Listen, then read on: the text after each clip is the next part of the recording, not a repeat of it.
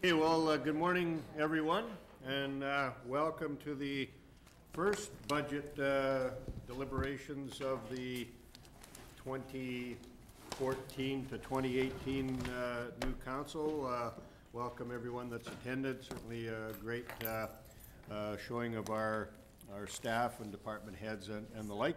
Uh, Just to keep uh, things moving along, I will acknowledge uh, administration has done a tremendous amount of work over the last um, many months and have been frantically uh, dotting i's and crossing t's and crunching numbers right up uh, to the end, uh, partly even in response to all the great work that council has been doing. Uh, Many councilors have sent in uh, excellent, astute uh, sets of questions.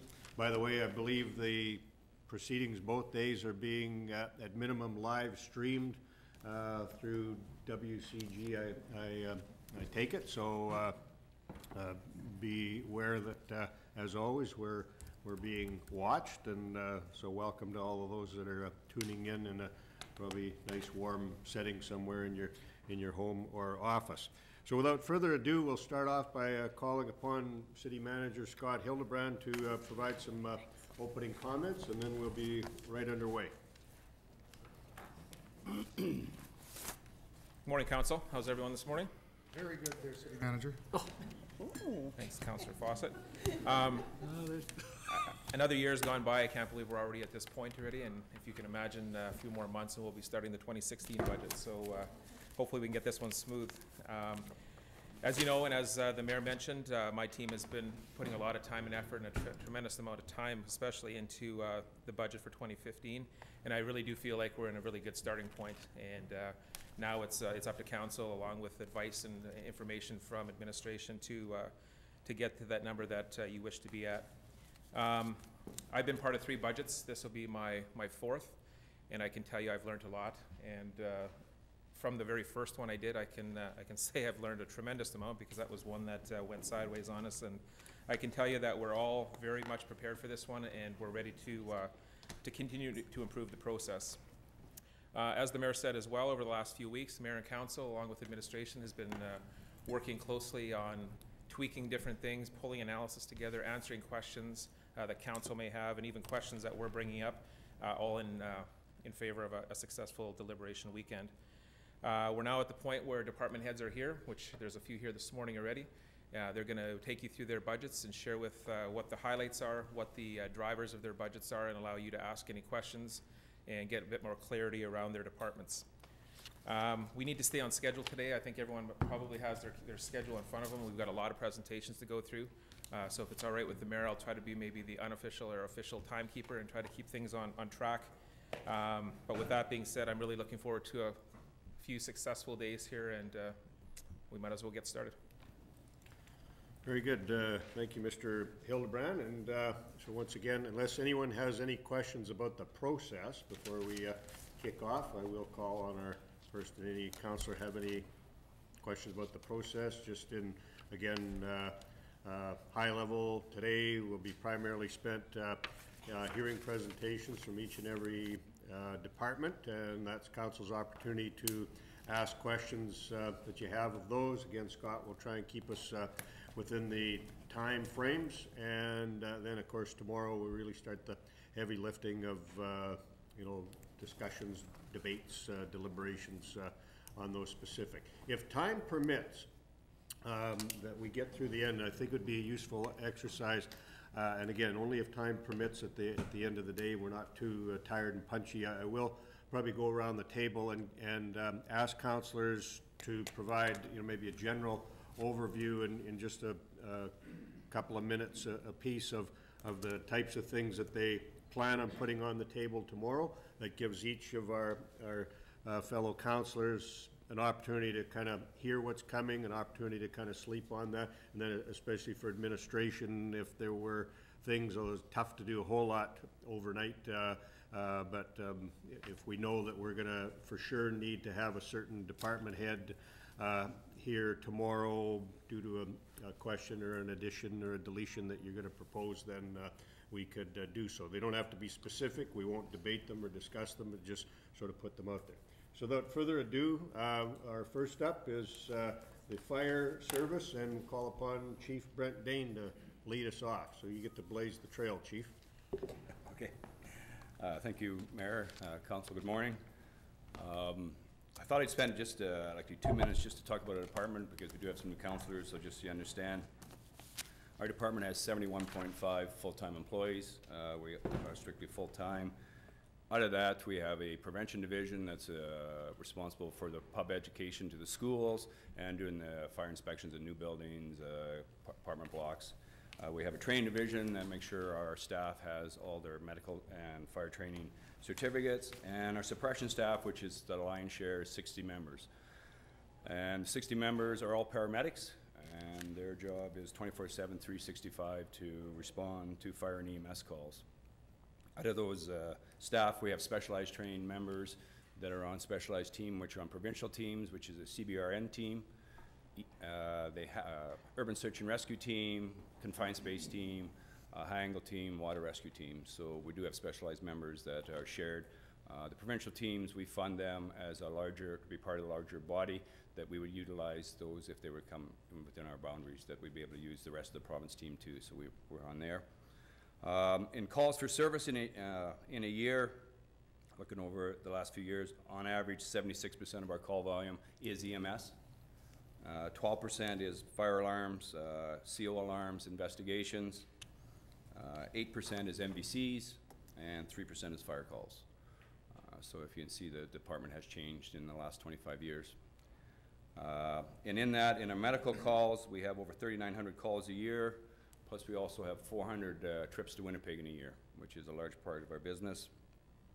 We are a contract employee of the Prairie Mountain Regional Health, so we work under their direction, uh, which is also through Manitoba Health. Uh, There is a lot of changes coming out of Manitoba Health right now, and we're working with the Prairie Mountain to uh, implement them.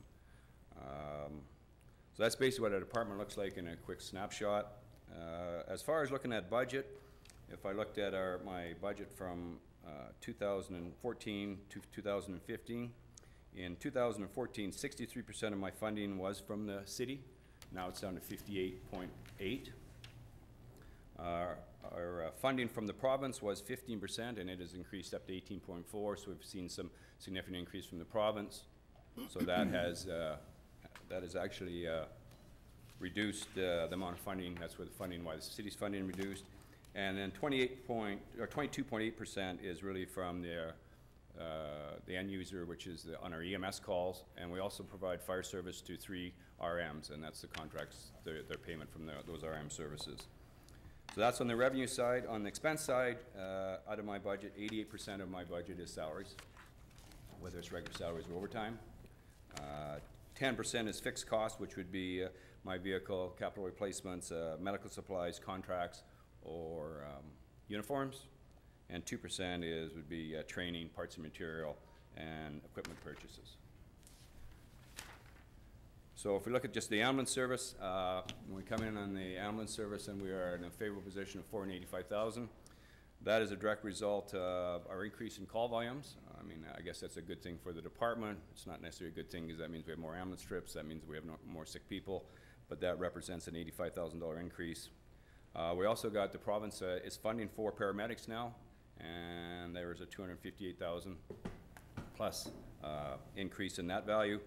Uh, We reduced our overtime by ten thousand dollars. Uh, Certainly those four paramedics have played a part in reducing that. And the other change was we took hundred and thirty-seven, almost hundred and thirty-eight thousand dollars out of our budget and moved it for the EM E nine-one-one charges that were in my uh, budget and moved it over to the E nine-one-one. On the uh, fire side, uh, our budget is uh, unfavorable by 100, or an increase of 2.4%, 103,000. Uh, A large portion of that is come, uh, I have put back in uh, 98, I think it's 98.7 uh, thousand dollars back in the overtime. Uh, In 2014, council asked us to find a way to help them meet a target, and so we, uh, we changed our staffing model by reducing our minimum manning uh, to uh, achieve that, and we are, put it back in to try to get back to uh, 214, prior to 214 staffing levels. Uh, The bottom one is fire vehicles, and it's uh, 18 points, 18,700. And uh, That is just, I think, a readjustment. I- It doesn't really, it's not my responsibility, but it- I do believe it's just a a readjustment to make sure that my fleet vehicles are, uh, are available to be replaced and we have the money to pay forward when they come. So when we- we do require them, there is enough funding. So that's just an adjustment in the amount. And when I looked at uh, capital expenditures, uh, for us in 2015, uh, we are looking at a new thermal imaging camera. The department has two, we replace them every six years. Uh, We have, in the capital, it's fifteen thousand dollars, uh, and we use them significantly in fires. Uh, It's a tool that is a new tool in the last ten years in the fire service, but it allows us to uh, check fire extension in the walls. One of our, our biggest issues was not knowing how the fire, how far the fire extended into the walls, so we use these cameras to see where the heat is in the walls. We know where it's extended, and we can open up the walls and extinguish, so it saves a, a lot further damage than coming back from a rekindle. Uh, Jaws of Life, uh, there's, in capital, there's sixty thousand dollars. Yeah, that's on a twelve-year replacement.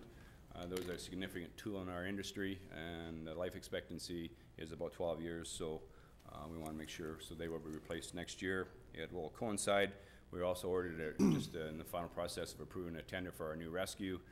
So those jaws will come at the time that they can be mounted and secured properly in the new rescue, and so the brackets will be appropriate for that.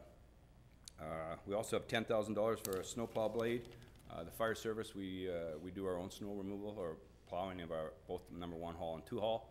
Uh, That blade is a fifteen-year replacement, and so we're just making sure that it's good to go. Uh, Photocopier is, uh, fifteen thousand dollars, um, and we are, uh, six years, that's a six-year replacement. We also be working with IT on that to make sure that whatever happens there is we're ordering the appropriate equipment. And the last one is a electronics upgrade for forty thousand dollars. And it is, for- it was for a, uh, we kept, we put it in there for, we have a significant amount of callback. We run, our staffing models, we run minimum staff, and then if we have an incident, we always call back staff, and we're trying to use modern technology. Uh, And we were looking at a, a separate company, and up to this point, we have moved that from 2011. It's still been moved forward because IT has done a great job. They've been able to implement a, uh, a texting through our city equipment, and so, and also our records management company is uh, the one we use, which is FDM. They have a, they're working on a module too, so instead of dedicating this money to a separate uh, software. We're working with IT and to see where, so we just continue to move that forward until we find that it's in a, can spend it in the appropriate way. Uh, So really insignificant changes in uh, uh, service delivery model. Uh, We are increasing in EMS calls. Uh, Certainly that means uh, more revenue, but it also means staff out and we run into a lot of multiple calls where we get spread thin with our staff because there are multiple calls. Uh, Boundaries expanding, uh, that is a result of the amalgamation when the Brandon RHA uh, uh, amalgamated with the two other RHAs to form Prairie Mountain. Uh, We used to just strictly run within the Brandon RHA area. They're expecting us to go out a lot further, which again, will look, will change our staffing model, which we may have to send rigs out as two and ten, or going north, you know, the rivers turn off on number ten to stage to be able to support them. They will also support us, but it is a, it is a thing that we're, uh, it's been talked about, nobody's actually officially said that that's, but that will be on the horizon. And the third thing that's going to impact us is uh, Manitoba Health uh, is looking at mandating a standard provincial ambulance rate across the province. Uh, Part of the mandate of Manitoba Health is that every Manitoba, no matter where you live, will get the same service, whether you're in Winnipeg, Brandon, or this, for this rural area, plus you'll pay the same amount. Right now, our, uh, our billing is, would be up in the top percentile, we're likely in the top half of the billing in the province. Uh, we did an estimate, we heard that the, they were talk, throwing around numbers, and the numbers we looked at, if they were to go to the numbers that we were hearing, it could be a reduction in uh, as much as eighty thousand dollars to us in revenue by reducing our recoveries on our EMS calls. So that is a significant thing that we're watching. Uh, Again, it's directed by Manitoba Health through the Prairie Mountains, so those are kind of things we're out of control, but uh, we're, be watching them for the upcoming year. That's it. Very good. Thank you, uh, Brent. So we'll start off, any uh, members of council? Kate, uh, Councilor Reggio? Thank you. Uh, Through you to the presenter. With the expansion of the boundaries, the response time, is that going to stretch our uh, staffing, make thin, or? Yeah, there, we've, the furthest we ever used to go was to, for example, there's two in, number two, highway number two and ten, and now they're talking about us going down in the Riverside Valley. Uh, the new stat, the new thing that the province wants is it'll be the closest unit respond, as opposed to it used to be boundaries. We didn't go beyond our boundaries, and now it'll be the closest unit. And because we're staffed full-time, twenty-four seven, three sixty-five, and when you get out into the rural areas, some of them aren't staffed full-time, that, that means that we will be going further. But what it does mean is, if we go out that far, then, for an example, uh, Souris, uh, Rivers, Minnedosa, they will call them in, and they will start moving forward to get closer to Brandon, so that if we had a call, they would cover us off. So it will get interesting, but you, at, at some point, we could see out-of-town rigs taking our calls in Brandon. Just one more question, if I may. Um, In, in the budget, there's money set aside, and maybe you can answer this, for an engineering study on Fire Hall Number One. Um, Is this the old fire hall or the new fire hall? If you're aware of that. If not, Oh, yes. Okay, um, yeah, uh, that is a result of, we've had, uh, we've had some issues with the floor in the new fire hall. Um, and so there, there, and it's not, it's not in the, the long wing, which is the administration wing, and it's not in the apparatus side, it is the link in between. And it is continually shifting, and to now, we've had it twice for sure, that we've had a, uh, slurry or whatever to lift the floor to level, because it's actually, the floor shifted enough, there's been a trip, trip hazard on one side or the other side. Uh, it's shifted in the washrooms bad enough that from the alarm room, person could fire a pen and right into one of the washrooms, somebody's going to the washroom into the floor. So we've had to lift it, so we're looking to see if we can permanently fix it. Uh, right now, what we're doing is we're paying to have the floor lifted, but one of the suggestions from the people that do it has said, like, we likely need to look, and we likely need to go eight or ten feet down and make the base solid, and then do it right for one time. So we're gonna look into having that properly done, because we're cons- continually spending money on it. I think both times were at least five thousand dollars to lift the floor. So we're trying to figure out to fix it once and for all, as opposed to have it shifting. is this the only issue with the building? With the new building? Yeah. Oh, that's a nice building. It's a very nice building.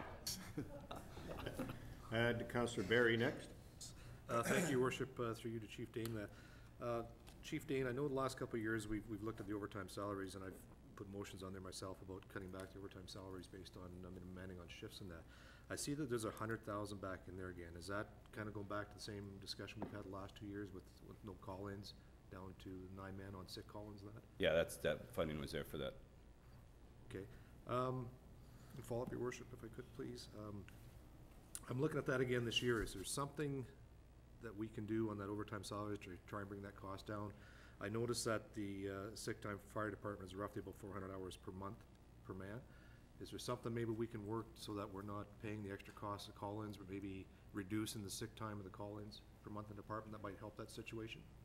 Uh, actually, when we look at my stats, one of the things that hasn't went down, we've been able to say, but our sick time has stayed pretty constant in the last two years, so that would be, a- I think, a- an area that we need to address, is trying to reduce that amount of uh, sick time that our staff is having.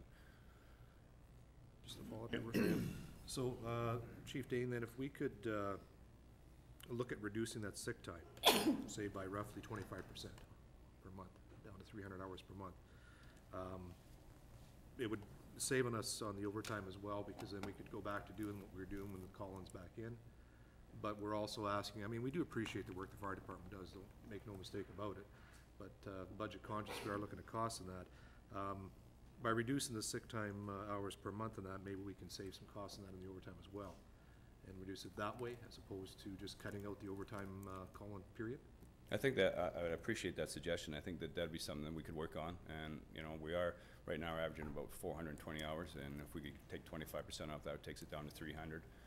And if we could, you know, I, I would accept that, uh, that challenge, if you wanna call it that, and to try and get our sick time, uh, reduced to a reasonable amount.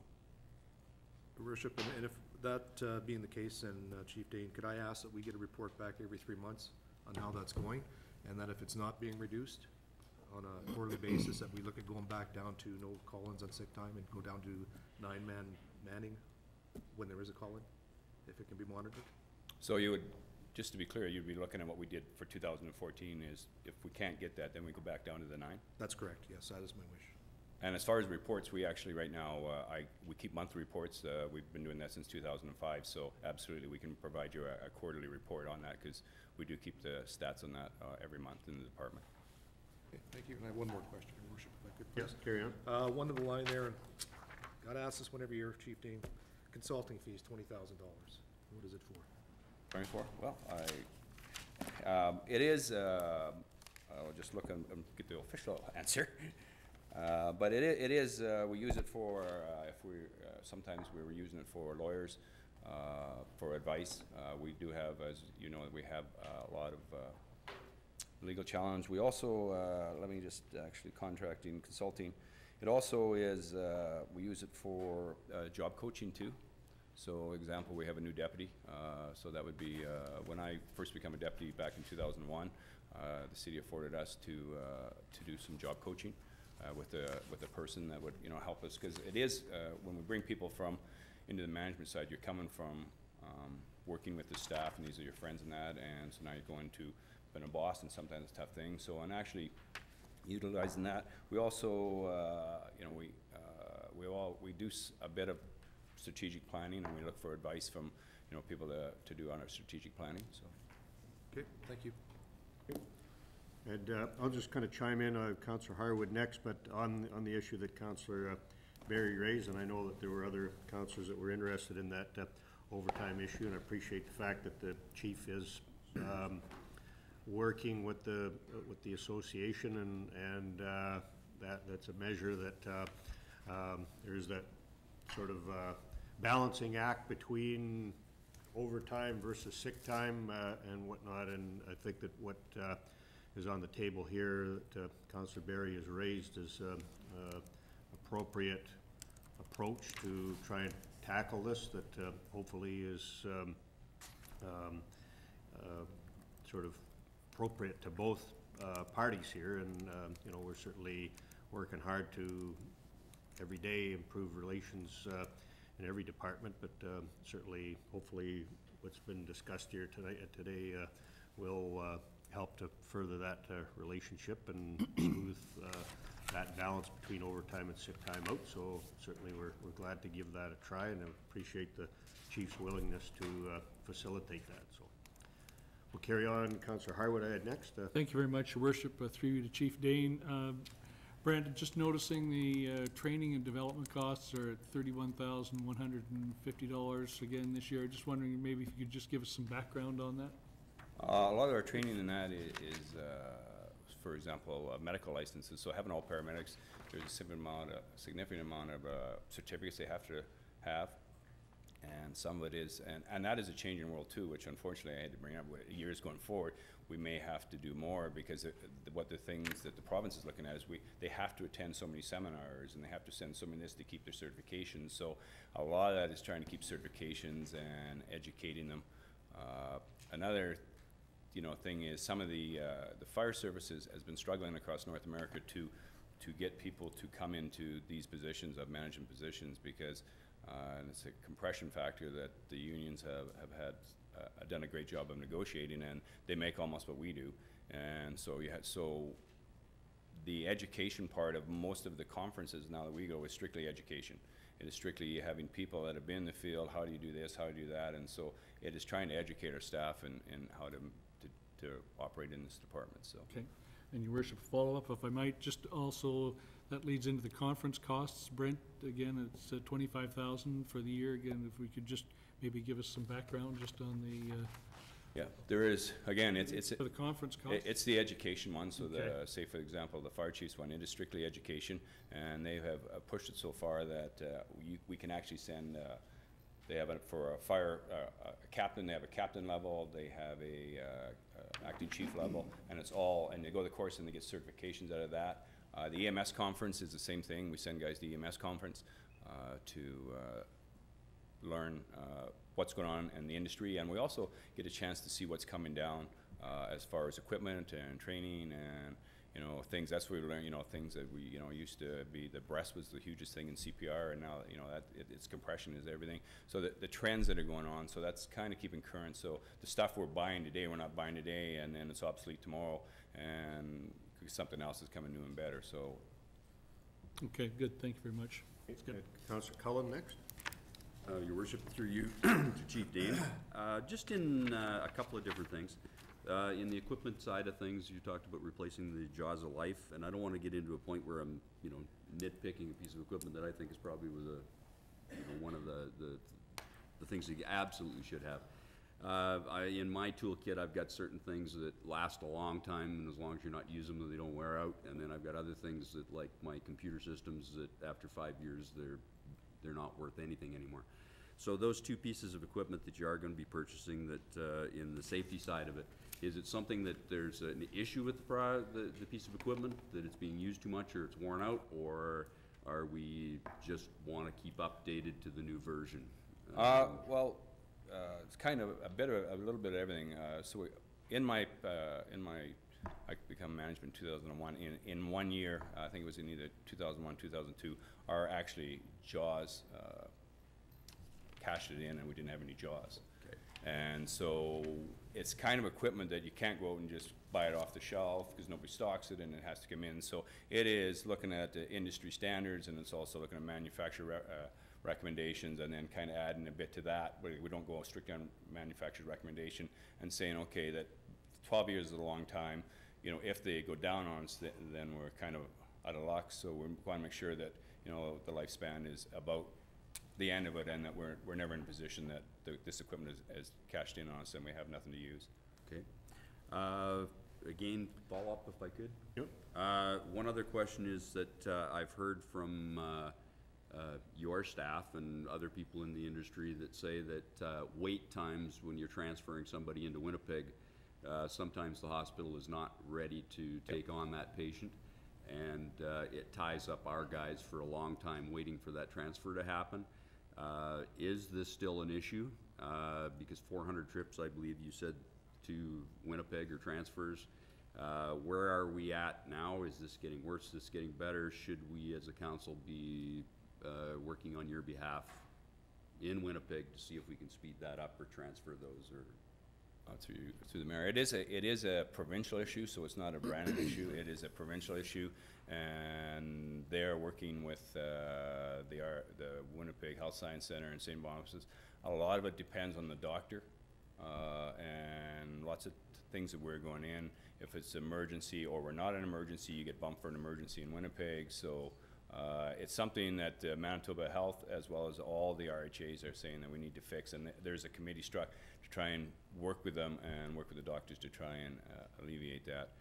The biggest thing is we go in there and we, you know, we wait uh, and wait, and then they might say, we might wait for eight hours, and then they say, oh, by the way, they're staying. But we waited eight hours to see the doctor come in and say they're staying, or we'll wait ten hours and then they'll still go home. So it's, it's really, the doctor has to make the decision and when he gets there and how busy he is and, you know, where he is in his day, that uh, has significant impact. But it has been worked on through a provincial uh, committee. Very good. Uh, Didn't have anybody else, so just myself. Uh, We're getting to the end of our time. Um, In response, I always like to think the council ought to uh, keep its eye on things on behalf of our departments that, uh, you know, may be a little more political, if you will, and one that you mentioned earlier, but the, uh, you know, Prairie Mountain Health changing their boundaries, and then we may have to go farther afield. Are there things built into uh, at least the funding model with respect to ambulance, for example, that would at least cover that off? Because uh, if not, uh, you know, my first response would be that some provincial policy ought not to just negatively impact on the taxpayers of Brandon, that the, you know, province with the stroke of a pen ought not to just now expect the taxpayers of Brandon, in other words, the Brandon Fire Service to be, you know, we don't mind servicing the other municipalities that are uh, out and about, but uh, uh, when it comes to the funding, I don't think that the uh, taxpayers of Brandon should be picking up the tab for that. Is that factored into the model uh, that, you know, comes close to kind of covering us off, or is it something we ought to be having kind of higher level discussions about? I, I think that uh, certainly at some time it might get to that. Uh, The Prairie Mountain, uh, part of this is directed by Manitoba Health. Uh, I can tell you that our relationship with Prairie Mountain is, is, uh, has been incredible. They're working with us, but we have flagged both that, both on that flat fee billing, we've also identified if, if we lose eighty thousand dollars worth of end user funding, then we need to have a discussion, and they recognize that. For those that don't know, our, because we're a contract employee, our funding is, uh, the, uh, end user pays twenty-five percent of the cost to run the EMS side. The province pays twenty-five percent to run the EMS side, and the city pays twenty-five percent. So we do have some leverage, and we would have, will have some political leverage, but they're well aware, that out of that twenty-five percent, if we're sending staff, uh, a- long ways out, that it has impact in our coverage and our responsibility in the city. So they're well aware of that. And so if, we will certainly, you, uh, this body here will be the first place I'll be coming to look for support if it looks like we're gonna be sending staff on a regular basis. Right now, the unfortunate thing, those, those areas are less populated than, you know, I see in Brandon, so, you know, if we go two or three times a year, it doesn't have a significant impact. If we're going forty or fifty times, then we certainly have to look at that, so it'll be to see what the impact actually is on the department. Okay, we'll keep an eye on that then. Okay, uh, nothing further, we thank you, uh, Chief, for your presentation and that of- on behalf of your staff, I know who uh, also contribute highly to this, so appreciate it, and we're gonna move on to the next one. All right, thank you. Uh, Police is uh, scheduled to be next, but we were gonna interject um, Val Rochelle, uh, counting manager in there that has a sort of an overarching uh, issue that affects both police and fire, and I think even other departments, so we'll call upon Val next to give us a comment or two. Thank you. Uh, Good morning, Your Worship and members of council. Um, Just before uh, Chief Grant makes his presentation for the uh, police department, I just want to provide a, um, one point of clarification on their budget. Uh, When the police board submitted their 2015 budget to council, it was submitted in the amount of $12,120,489. When everything was uh, wrapped up um, between all the departments and the budget actually presented to council as a whole, um, for the police department operations, it included twelve million sixty-eight thousand eight hundred dollars, which is a decrease of fifty-one thousand six hundred and eighty-nine dollars. The reason for that is that when the city received our final WCB premium rate, um, the, the rate is input into our budgeting software, and it just goes across all employees, and we didn't take into consideration the impact that that would have on the police department budget that was already submitted. So I just wanted to make sure that everybody, you know, understood what happened there, and that the uh, 2.2% mill rate increase that was presented uh, does already incorporate that $51,000 reduction. Um, So just wanted to uh, just kind of clarify that and, uh, you know, apologize to the members of the police board and council if there was uh, any confusion as a result of, of that. So, thank you. Thanks for that. And uh, maybe as a, as a further to that, and one thing that I guess, I won't say makes it more confusing, but makes it just slightly different than every other department that we're gonna hear. Um, You might, you might say that the council is de facto the board of directors of every other department, such as the fire service that we just heard from. In the uh, one and only case uh, uh, through provincial legislation, we, um, we have a separate police board, and the, the police chief, uh, in essence, reports to the board, and the board, you know, makes, uh, you know, more of the fine tuning of decisions, however, they have to ask uh, council for the budget. So council in this case isn't really the board of directors for the police service. We are more like the treasury board for the police service. And um, I see the chief has brought the chair of the police board, uh, Mr. Mark uh, Frison, uh, with them. So I just wanted to o- uh, overscore, we're all kind of getting used to this. Uh, Those veteran counselors that were maybe used to the old system pre-police boards, uh, you know, may, may find it a little uh, uh, slightly different. So just recognize that it is different, and I think we've gotten it figured out, and that's partly why Val had to indicate that the police board had in fact submitted its budget of that twelve thousand one hundred and twenty thousand, then Treasury, I guess, uh, I won't say arbitrarily, but when they're making adjustments, it, it did take it down by the savings in uh, workers' compensation. So, um, as we are asking uh, questions of the chief, who's more than uh, happy to answer any question that you have, you have to also appreciate the fact that he is uh, another master in this case, uh, other than just council, and that being Mr. Frison and his board. So with that uh, bit of um, framework, uh, we'll turn it over to uh, Chief Ian Grant and Chair of the Board, Mark Frison. Thank you, Your Worship. Uh, Maybe just uh, a a little bit of context before we uh, hand the heavy lifting over to the chief. Um, As you mentioned, we submitted a a budget submission back on, I think the formal one went to council on December 15th. I think you all have copies of that. If not, we have extra copies here today. Um, It's in a slightly different format than you'll um, you'll get through the the city treasury. Um, But essentially, what the police board did is similar to what we did last year, and I think that uh, we presented that to you, but probably gave you a little bit more meat this year. Uh, And that's that in our deliberations, we looked at scenario planning. Uh, And so the core scenario for us was to look at uh, how do we maintain the current level of service for public safety? Um, the- And then we looked at two other scenarios. Uh, One scenario was, what does an enhanced level of service look like if there were additional investments, if, if council saw fit um, to make public safety a higher priority? Where would the police board likely invest that money?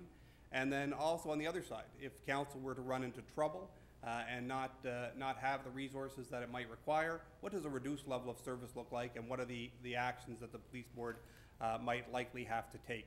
Um, and so those, all three of those scenarios are, are outlined in your package so that you have a good idea of if you're making additional investments, where might it go? Or if you have to cut back in a serious fashion, what are the implications? Uh, for the police board itself, where it landed was um, in taking into consideration both the public safety interests of the community uh, and the fiscal uh, limitations of council. Um, we landed at the, at the status quo scenario, how to maintain, maintaining the level of service. Um, and so that's, uh, that's the submission that we've put forth for, to you today. Chief? Thank you, Mark. Good morning, Your Worship and members of council. Um, I just want to carry on from uh, where uh, the uh, uh, police board chair uh, left off in, in framing uh, what had taken place, but I, I just, I think it's important to give an overview of 2013 compared to 2014 and why we landed at where we landed for, for uh, the proposal for 2015. Um, Just to give context to, uh, especially to newer members of council, uh, in both 2013 and 14, uh, the police service has stepped up to assist the city to uh, get over the hump, as it were, during budget deliberations. Uh, In 2013, uh, the police service cut a rank position, a staff sergeant, and we delayed hiring to help meet council's uh, $600,000 uh, council challenge for salary savings. And uh, our share of that was approximately $125,000 uh, or 20%. Uh, In 2014 alone, the police service contributed uh, 262,000 one-time uh, savings in terms of uh, salary dollars. Uh, This one con, one-time contribution has obviously been added back in. The police service also reduced our capital appropriations in the amount of $210,000 last year to meet the council uh, mandate of $175,000. Uh, For 2015, the police service capital appropriation budget is uh, proposed at $300,000. I've worked with uh, City Treasury uh, with regards to the capital appropriations, and uh, some concerns are expressed by both Treasury and myself at uh, the current level of capital funding as we hit 2018 and beyond, with appropriations even at the proposed 2015 level. Uh, Having said that, I will be uh, working on a revised capital plan, which I'll have to take before the board in 2015.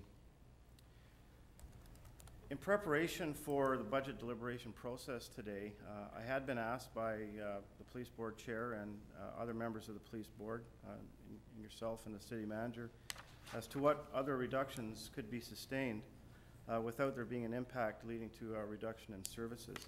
So I was actually able to take our budget proposal and, and uh, take a, a look at it One of the uh, budget proposals uh, has already been alluded to by the Director of Finance in terms of the $51,000 uh, salary adjustment due to the WCB uh, recalculation.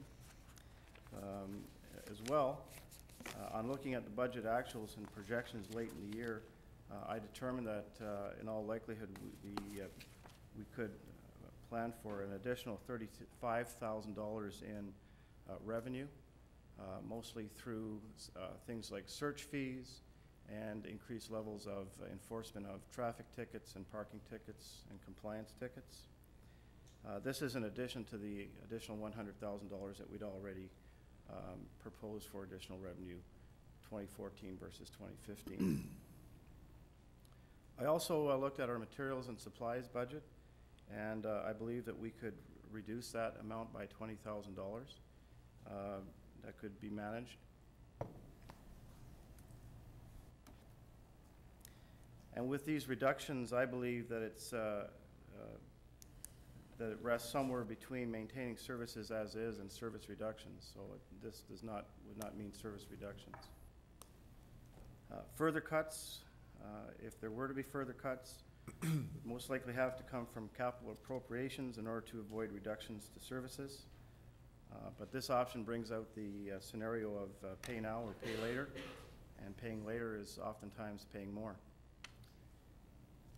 And the uh, concerns of Treasury as, uh, and myself as, in terms of the capital appropriations, I've already noted.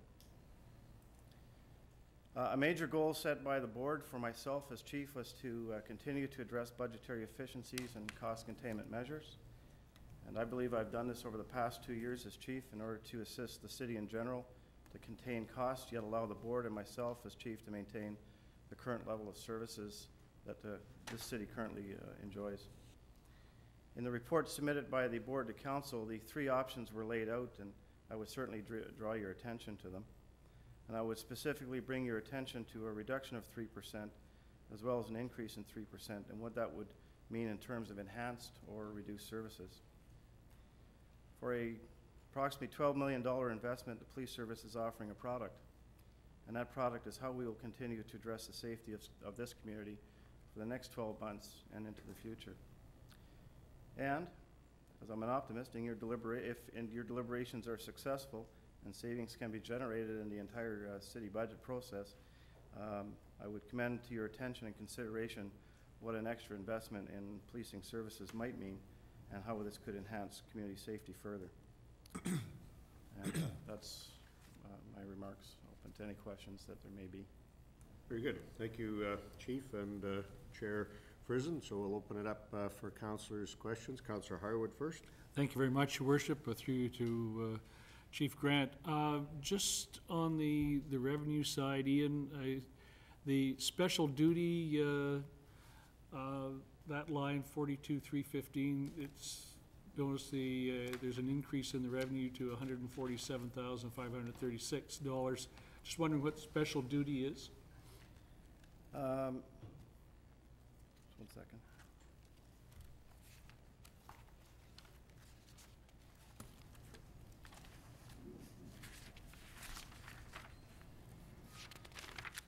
Oftentimes throughout, the well, there's, a- there's a couple of uh, things within special duty, but uh, the, uh, one is, uh, there's a seconded position that we enjoy with a, an educational institution within the city.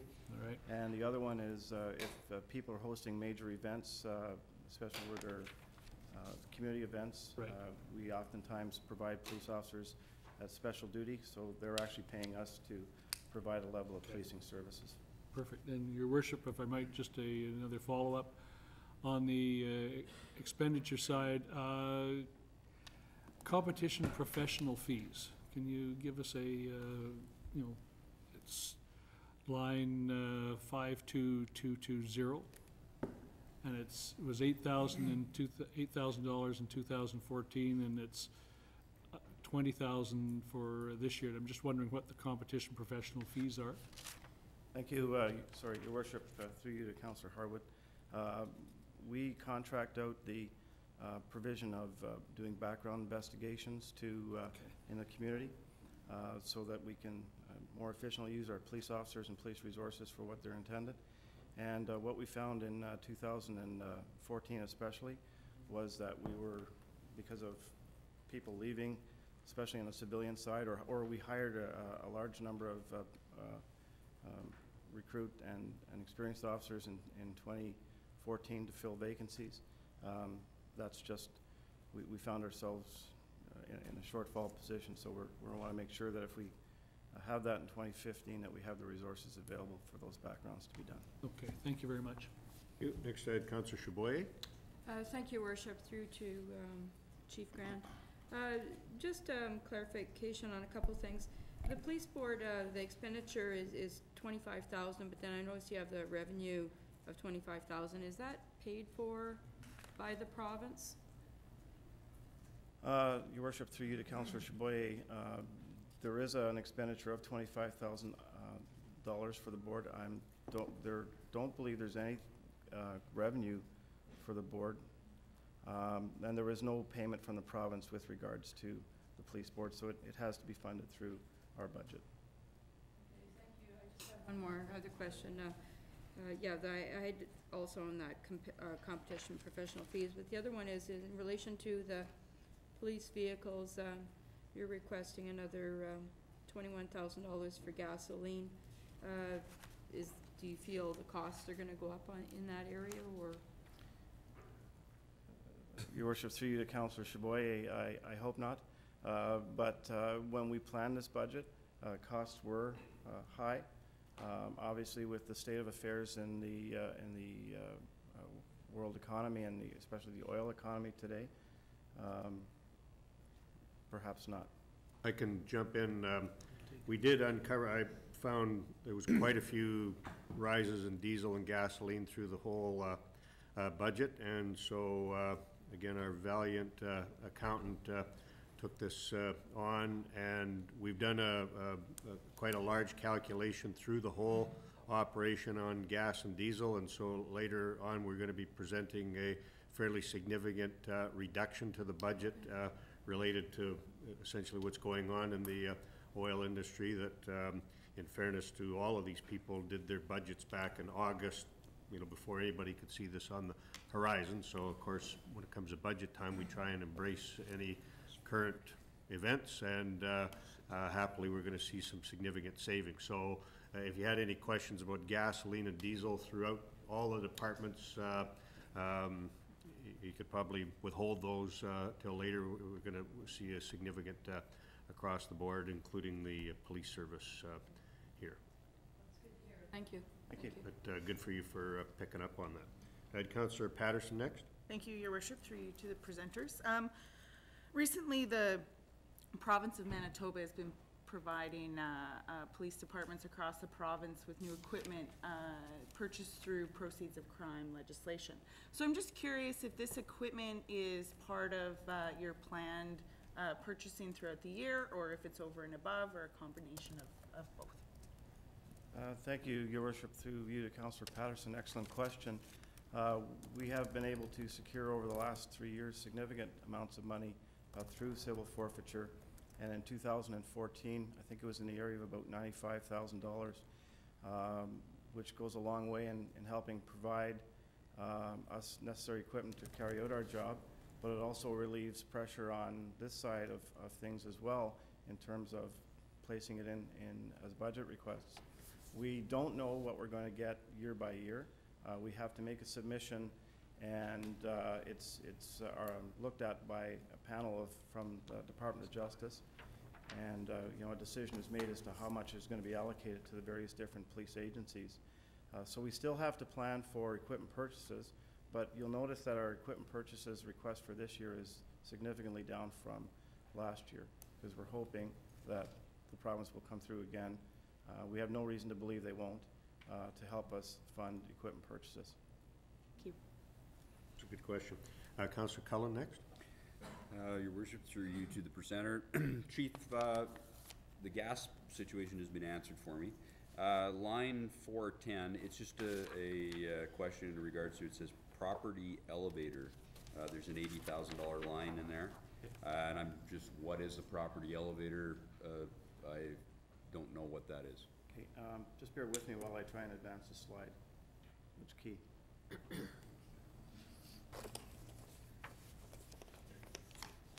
Um, We have, uh, when we, um, your worship, through you to Councillor Cullen, uh, we have, when we purchased the, uh, and constructed the new police facility, uh, one portion of the uh, police building that actually has a basement, and that's the former liquor store uh, portion. So we're using that portion of the building for quartermaster stores, long-term exhibit storage, and a workout facility. And so the major portion of the downstairs is for long-term exhibit storage. So if we process exhibits on the main level, uh, what they have to, what we have to do through our property officer is, is take them down a, a a flight of stairs to get them into the long-term storage. Uh, A lot of those items are are large, are heavy, are bulky, uh, and uh, it's, it's a concern for, uh, you know, obviously workplace safety. Uh, So this had been a a proposal that had been there right from the start of building construction. Uh, We've not been able to get to this project, uh, but we think that this project is something that we, we still need to, to ensure that, so we can take that property from the main level down to the, the basement level for long-term storage, and do it in a safe manner. Uh, One follow-up question. uh, The, at the AMM, uh, a lot of concern was being expressed in, in the police departments that they were spending a lot of time within mental health. As in their, their guys were being tied up uh, because they were being asked to respond to something. They had no place to pass this off. Again, uh, just as efficiencies and, and being able to, you know, do your budget, is there anything that we could do uh, as a city and through province politically? Uh, And uh, maybe if you could explain this problem, because uh, I hear it's huge. Thank you, uh, your worship, through you to Councillor Cullen. Uh, Excellent question, and it has been um, an ongoing and long-standing issue. When we take somebody into custody under the Mental Health Act, under the emergency provisions, we are obligated to maintain custody of that person until such time as uh, the competent medical authority either releases them and allows them to carry on their, on their way, or uh, they are actually going to be held in a, in a psychiatric facility. We have no choice but to stay with, with the person. And that could mean any uh, wait times of anywhere between four, six, eight, 12 hours.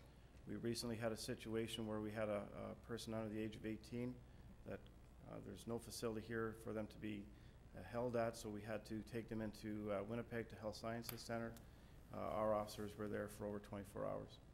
Uh, So we actually had to send a relief in uh, to allow the people that took them in to come home. Um, We have been working uh, as a lobby group or advocacy group, I'm sorry, uh, with MACP, Manitoba Association of Chiefs of Police.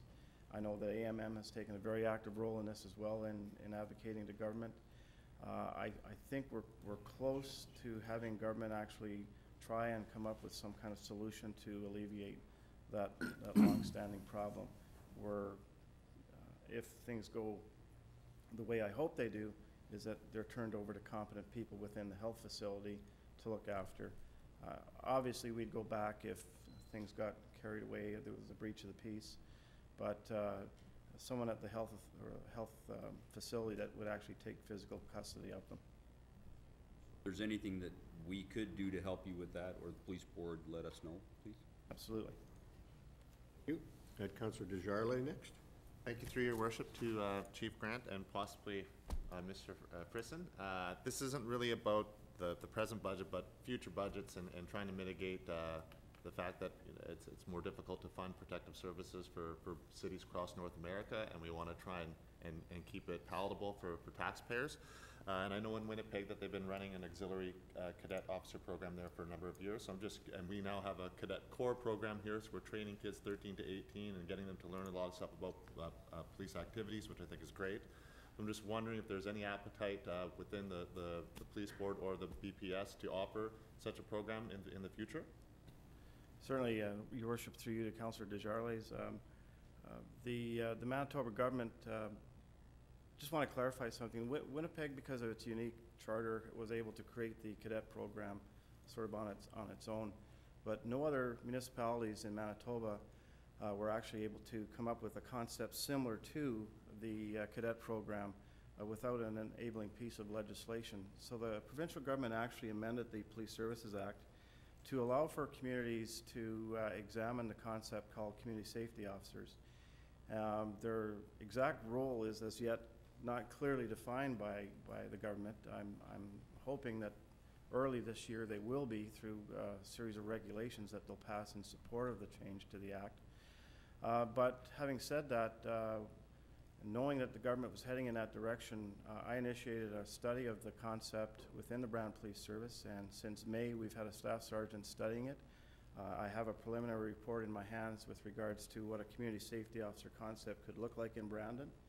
Um, Once I'm, feel that I'm satisfied with it, in the board, uh, we have to go forward then to the province to, to say this is what we think that the, the role would be of community safety officers. Uh, I don't think that they would have any investigative ability, but they could certainly have uh, the ability to uh, help us out with situations, as Councillor Cullen has brought to our attention, with the Mental Health Act, staying with people under, in need of, of mental health uh, assessment, uh, at accident scenes where they could help control traffic, an- any number of duties, crime prevention work that would help alleviate or take away a lot of the, the duties that police officers are currently doing, allowing them to concentrate on, on more uh, core policing and investigative functions. Uh, I'm, I'm not gonna say that as the city grows, there won't be a need for more police officers, but if we did have a, a community safety officer program, uh, it, it might slow that, that growth. And, and obviously, I think that the, the rate of pay would be, um, a lot less than what we're paying for a police officer right now. One more question, Your Worship. Uh, Just an, uh, a a quick question about revenues. Have we, have we ever looked at uh, potential of, uh, and I know not everybody likes the idea of video surveillance, but uh, video surveillance along the pedestrian walks uh, on 18th Street across, uh, uh, going across to the university? Um, I can tell you from somebody who has walked those pedestrians, a a number that there are a number of times during the day we could be ticketing a- a number of drivers who are just screaming by pedestrians who are walking on that. Your worship, through you to Councillor Desjarlais, just for clarity, are, you- are you thinking about photo enforcement or photo radar? Photo radar, something that could, so that we can uh, increase some of the revenues for, for, for ticketing? Um, It's a great question, and uh, uh, in- this province, there's been uh, a lot of uh, communities outside of Winnipeg that have uh, sought photo radar, red light cameras, and uh, it's something that's unique to the city of Winnipeg right now, and I think because of some issues that have taken place uh, in there, I I think that the government is reticent to see an expansion of the program outside of, of uh, of Winnipeg. We did when red light cameras and photo radar initially came to uh, Manitoba or to Winnipeg. We were part of those discussions and proposals. Uh, We've gone back uh, several years ago to try and test the waters, as it were, and we didn't uh, get anywhere, so, um, but, you know, we could keep asking the question. So currently, we don't have the authority to do that in Brandon, only Winnipeg does, again, Winnipeg. due to their charter. Uh, Is that the, I'm not sure if it's their charter or just the way that the legislation was done, and there's almost like a moratorium on yes. Okay, thank you. Those are Thanks. Good questions. Uh, uh, Councilor Reggio next. My question uh, was on forfeiture and proceeds of crime. It's been answered, thanks. Very good. Uh, Councilor Fawcett next. Thank you, through your worship, uh, to uh, both of our uh, people up front here. Staff-wise, what do we have for staff right now, Chief Grant? We have uh, 87 police officers, and we have 38 civilian employees. And that includes the six people who are in uh, bylaw enforcement. Okay. Um, a- And I do appreciate the work that that department always does. It has uh, obviously been of the highest priority for the city of Brandon for at least a decade plus. Uh, It's a quarter of our sal, a quarter of our budget, pretty much, your department. Getting close. It, uh, and one of the things I, I'm wondering, you know, because we've, we've seen now it's uh, changes, uh, uniform crime report, how have we done anything noticeable in the last four years that has been changing for our department? Uh, Uh, Your worship, uh, through you to Counselor Fawcett, I think our uh, percentage is fifteen point three percent of the budget, uh, not twenty-five. But with regards to uniform crime reporting, there has been a steady um, decrease in crime over the last, right across Canada and in every province and every municipality. There has been a reduction of, of, of crime. Um, don't know if the results from 2014 will, uh, that that pattern seems to, perhaps it's going to be broken and we're going the other way a little bit. Uh, So there has been a a decrease in, in reported crime in our community is, and it's consistent with what's happening in the rest of the country. At the same time, our calls for service are continuing to go in that direction. And uh, this last year, our calls for service are probably going to be at least about 1,500 calls more than they were in 2014. And that's everything from a bylaw offense right to attempted murders. Um, So, uh, and a great deal of our work is spent on, on issues such as was identified by Counselor Cullen. Uh, Mental Health Act, disturbances, those types of issues. So, um, hope that sort of answers your question to some regard. Through your worship. And, uh, yes, it does to a degree. And, and of course, uh, I think I had the same discussion with you on the mental health last year. Don't know if we've gone anywhere on that. Uh, we recognized how the role of police, just like in education, the role of teachers changed significantly. We understand all of that. And, and we do appreciate the last couple of years, how the police department has been trying to help with our budget. And, uh, and we know that you're in a difficult position always, because the majority of it is salaries. That being said, it is a department we still go to. I think last year, we looked at, uh, or I looked at about two hundred thousand dollar reduction in the, in the budget there. It was defeated ten to one. Uh, Collectively, we looked at the uh, budget overall for salaries, did do a reduction, and when that went back to management, your department was where the bulk of it went to. That was management decision and not, not our council. We, we did it as a whole. When it was just police, we lost, so, but, um, and this is maybe not just for you, but all, because the last two years, I know that, that this council and the previous council got the gears for six hundred thousand dollar and a two hundred thousand dollar cuts to salaries. And we often neglect to mention the six point five million increase that came the year prior to that. So I just, just something to heed as we're, uh, doing discussions and, uh, that base. But, uh, I, I do appreciate the job that you're doing. We do have a great, uh, police force in our city. It has been of the highest priority for a- a decade plus. You can look at any of the, the stats that we have, uh, maybe to the detriment of some other departments. But we continue to put a high emphasis and a high priority on the police department, so. I, I do think it is worth uh, noting, uh, Your Worship, uh, that uh, it's been two decades since uh, Brandon taxpayers have been saddled with having to add a new police officer. And we've been very fortunate in terms of maintaining the size of the, uh, the police service. The 16 uh, new positions that have come in the last two decades have been principally funded by the province of Manitoba. And so luckily, in order to keep up with the growth of Brandon, uh, there has been some resources that have come from other sources to help finance those. Um, so, you know, in general, with respect to the issue of the complement of the police service, I think they've done an excellent job at uh, maintaining the level of service without uh, overly burdening the, uh, the taxpayers of Brandon with respect to the number on the complement. Obviously, uh, the, the police service uh, and the, uh, and the board are not involved in the negotiations of the individual wages, uh, wage levels, that's between council and the police association, and, uh, so, uh, to Councillor Fawcett's point, relative to some of those increases, um, we appreciate that, that you've done your best to try to limit those. We're trying to deal with the impact of, of, what you've negotiated, um, but, but with respect to the complement, I think we've been lucky. I didn't have any other uh, counselors uh, signifying they had questions, I think we're uh, almost uh, ready to wrap up, uh, in spite of the opening comments that uh, I made and Chairman Frison made, but we're kind of puzzling out the new arrangement with the police board and council and how we're all fitting in. I think we're, we're doing a better job than most. Just noticed on last night's uh, CTV News that the city of Winnipeg seems to be in a little more of a conundrum trying to figure that out. Uh, the, they had a budget committee uh, questioning the, the uh, deputy chief, I believe it was, and he was having a difficult time kind of answering, because he said, well, we answer to the board, and, and then they're, they seem to be a little more off track perhaps, but uh, maybe they'll get back on track, or they can follow our lead. Thank you very much, both gentlemen, for uh, great presentations. Our timekeeper's given us a little bit of latitude. uh, Obviously, we're about eight minutes uh, behind schedule, but I'm confident we're gonna catch that uh, back up. And so without further ado, I'll call our next category, Economic Development, and uh, Director of Economic Development, Sandy Trudell, to the uh, podium. Thanks for being here. Good morning, through you, your worship.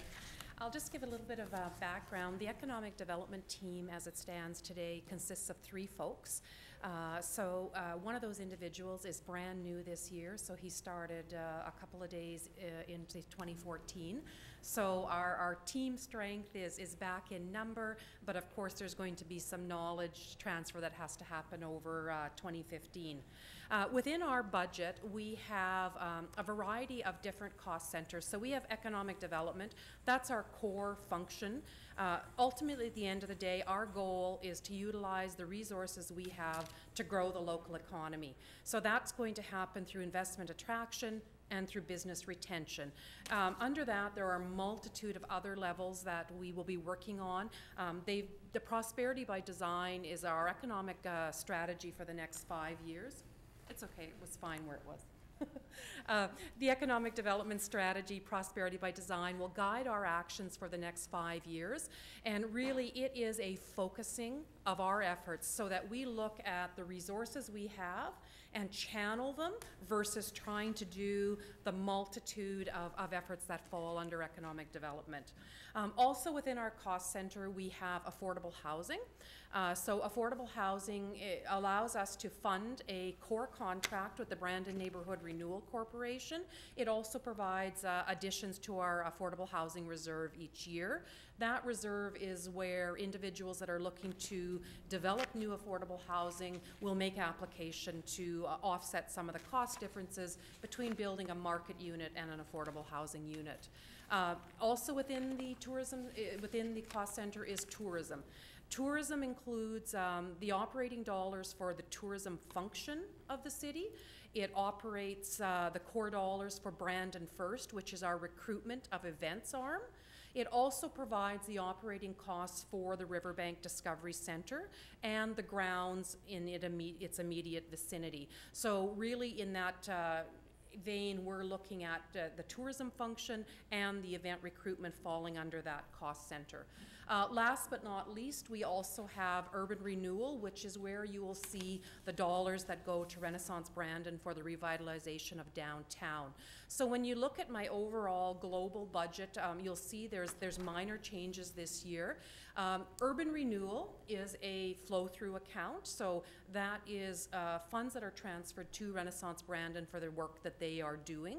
Tourism initiatives, likewise, is a flow-through budget account, um, but we have a very clear contract that spells out their obligations, what we will do, and then the, the anticipated outcomes. So it's managed through an active contract. Uh, housing initiatives, again, is that contract primarily with the Brandon Neighborhood Renewal Corporation. Much like the tourism contract, it spells out the expectations, and uh, we work it through that fashion. Uh, so when we look at uh, main drivers within the 2015 budget, uh, you within the economic development, it's minor changes. Uh, the increases that have driven the economic development budget are related to the establishment of a highway signage reserve. So in 2012, we erected six uh, highway signs at the entrances to the city. At that time, the indications were that the lifespan of those signs were 15 years. So uh, what we're looking to do is, based on that lifespan, give or take a few years, is establish a funding reserve so that when it becomes time to replace those signs, we already have prepared uh, and saved all the funds necessary to do that. Uh, Within the um, budget, there has also been a uh, minor increase in some of the cost centers, and that is to fund the work of implementing prosperity by design. So we're looking at targeting into some of the sectors. We've increased our advertising budget. Everything within that budget is aligned with the work that will be done through Prosperity by Design. Um, From the Affordable Housing Initiatives uh, Cost Center, there is a a noted decrease, and that is taking into account um, that we have not budgeted for any dedicated affordable housing resources uh, via the City of Brandon's budget. Uh, I believe um, council for, for many years, and this council as well, is I've been indicating to them that we have stretched our resources too thin within the Economic Development Department. As I started with, we have a team of three, and as you can see, we have a multitude of uh, cost centers beneath ours. And what we really feel is that if we are going to truly see the economic growth that we need in this city, because quite frankly, economic growth is what funnels and covers the costs of every other department's budget here. So without that growth, we don't have the long-term sustainability for the other department needs, which then are obviously meeting our residents' needs. So what we're proposing is that um, the, my time is significantly reduced from the urban renewal cost center and also the Affordable Housing Cost Center. What that means is that our team of three then are focusing on pure economic development. We believe that's in the best long-term interests of the community and the City of Brandon's budget overall. That said, I recognize that there is a pressing need within the community for affordable housing, um, but at the end of the day, um, my belief is that before council makes a decision relative to funding in that, that the council as a collective really needs to be clear what is the role they wish to play in affordable housing. Uh, over the decades, we have moved from the role of basically virtually non-existent into a role of facilitative. So that is, we really weren't doing any proactive work, but if somebody approached us and we were able to work with it, we did. We then swung into the role of an enabler, which is we were doing some proactive work, but it really wasn't a full-blown dedicated focus on affordable housing. As council's often heard my term, it's been done off the corner of my desk. So again, we were enabling but not driving. And then in 2013, there was a, a clear uh, push from the council of the day to become a driver in the area of affordable housing. Uh, I won't say that that was a unanimous decision, but the, the message was create an, an affordable housing strategy that will allow us to tackle affordable housing. That was done and completed in 2013. Um, one of the top recommendations out of that, though, was if you're going to actually drive the work in affordable housing, then you need to resource it. It can't continue to be off the corner of someone's desk. So as I said, I understand the needs in the community. Um, my strong suggestion, though, to council is to please um, determine what you believe your role is. I've put together um, a variety of different scenarios. I will leave those with council for consideration during this evening, uh, for discussion tomorrow. And from that, you'll see what I've done is I've laid them out in the role of facilitator, enabler, driver, scenarios one, two, three. What does that mean from a service delivery? What are the pros, what are the cons, and what are the ultimate costs? Uh, so that I will leave with council, um, and, and that can be part, I believe, of tomorrow's uh, discussions. Uh, as I mentioned, our goal is prosperity by design implementation. That will be our focus this year. And uh, as such, we have gone through that plan. We've put together a work plan for the year. Uh, we've looked at it. There will be work done in all five sectors. It'll be done under all six strategic directions. The items have been prioritized from a high priority to a low priority uh, and a medium, obviously, in between. The bulk of our work, though, and our proactive resources will go into investment attraction and business retention and talent. Uh, talent is our greatest barrier to both our existing businesses and the future attraction of others. And as I mentioned earlier, I believe that that area of growth is what then allows us to fund the rest of the City of Brandon's budget. Uh, so with that, I would just uh, open up to any questions you may have. Thanks very much. Uh, First up, if anybody, uh, Councillor Patterson. Uh, Thank you, Your Worship, through you to the presenter. Uh, a couple of things. First, I, I do want to say that I think Prosperity by Design is a great uh, document and plan moving forward. I'm happy that we have it. It gives uh, both council uh, and staff and people in the community um, uh, a way to sort of focus our efforts and move forward. So uh, I, my first question is, could you just uh, I, you don't have to give an exhaustive list, but some sort of tangible outcomes you're hoping to see out of tw- 2015 uh, from your work on prosperity by design. Certainly, through you, your worship. Uh, well, basically, within the industry attraction and the business retention side of it, uh, obviously that is going to be, we're going to be looking at actual lead generation, Okay. the active pursuance of that within both the ag sector and the oil sector. Uh, we will also focus on other opportunities as they arise, but we've made a commitment that what we're going to do on an annual basis is target our efforts so that we actually are able to build the networks build the relationships, then fill any gaps that we may have within our local jurisdiction in order for us to be successful there and wrap it up. Rather than what we often do within the economic sphere is, is we're doing a little bit in all the sectors, and then next year we'll rotate those through. Some will continue on and we'll move forward. Uh, from the talent side of it, we're going to continue to work very closely with the Chamber of Commerce's Workforce Committee. We're going to be looking into uh, the needs relative to a labor market analysis, seeing what that does or does not look like, and what are the opportunities for partnership on that. Uh, so that element will be there. Uh, we're going to be um, attending uh, within our targeted sectors, so both ag and oil, the most relevant trade shows and uh, networking options for that. So those are definitely on the list. Uh, from the retail market side of things, this is an area of economic development growth that we typically have left alone.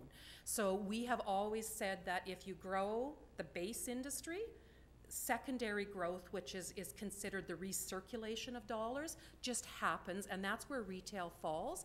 But what we're looking at this year is, is we are seeing um, a growing trend towards our, our Westman region because, quite frankly, Westman is what sustains our retail industry in this city, is that they're going further afoot and they're making more online choices. They're going south of the border. They're going to Winnipeg. And so every time um, one of those purchasers makes that decision, we then lose it. We call it leakage, but we're losing not only that purchase that they consciously made, but we're also losing all the other spending that they choose to do while they're out there. So what we've done is we've looked at that. We've looked at, um, we're talking with some of the core uh, retail uh, giants and, and understanding that we need to develop more regional retail in this community in order to stop some of that leakage. So as a result of that, we're going to dedicate some of our resources to actually getting in and fully understanding the retail industry, attending some of the key retail shows, really establishing close working networks with the folks that are already doing the development. So we have a lot of brokerages that are, are known for retail. We're going to get in, really get the understanding of what do they need, how do they need it, and then the subsequent part will that will be is making sure that internally we've brought the lands together to facilitate that regional development.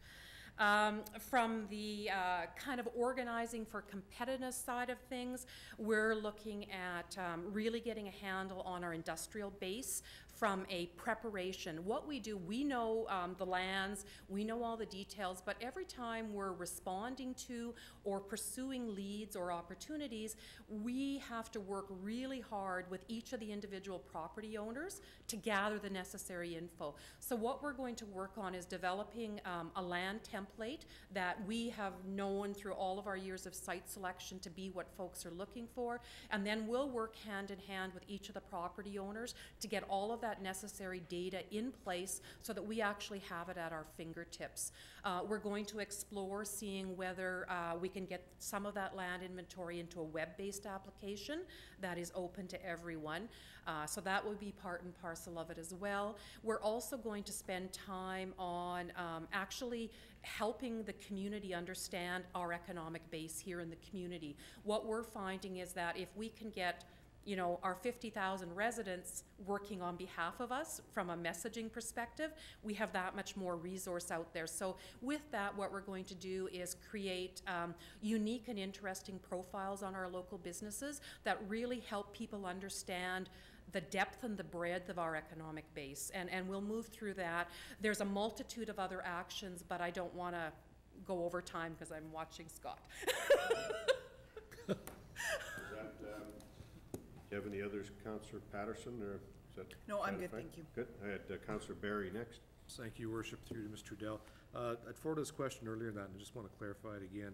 Uh, in your tourism initiatives, there's an increase to Riverbank, uh, Inc. of fifty thousand dollars. Correct. I kind of consider that the same as a grant as we give other organizations, and grants come through council to be approved, yet this one is just being put into the budget.